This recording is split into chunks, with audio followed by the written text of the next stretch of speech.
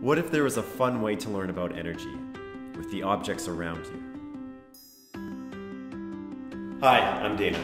And I'm Cedric. Together, we're founders of QMod. We developed QMod to allow children to learn about electricity, but most importantly, to inspire them to create objects that can be powered by alternative sources of energy.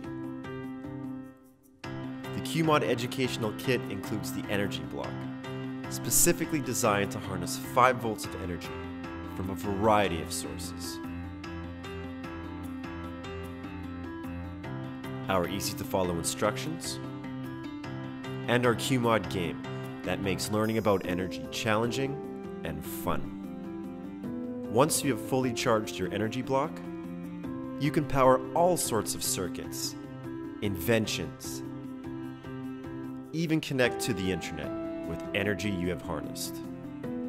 Our team has had the opportunity to work with hundreds of kids with the intention to understand how to engage learning in a subject so universally important as clean, accessible energy.